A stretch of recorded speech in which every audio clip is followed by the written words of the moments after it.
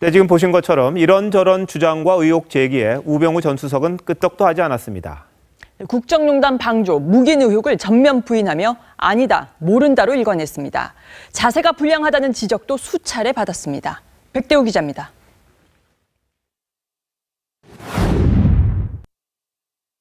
우병우 전 청와대 민정수석은 최순실, 차은택 등을 아느냐는 질문에 모른다는 말만 반복했습니다. 최순실은 언제 하셨어요?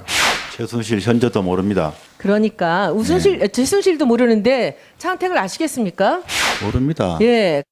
장모로부터 차은택 씨에 관한 얘기를 들으신 적 있습니까? 전혀 없습니다.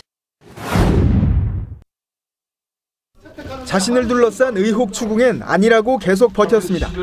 정윤의 문건 당시에 압수수색 들어가는 거 왜 막으셨죠? 압수수색 같은 거 막은 적 없습니다. 압수수색 왜 그렇게 압력을 넣어서 진행하지 못하도록 했습니까? 압력 넣은 적 없습니다.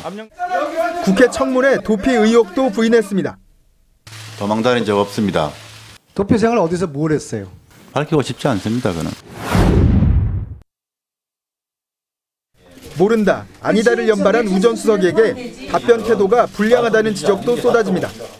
우병우 증인 예. 지금 답변 자세와 태도가 아주 불량합니다. 예? 그 자세 바르게 하세요. 예?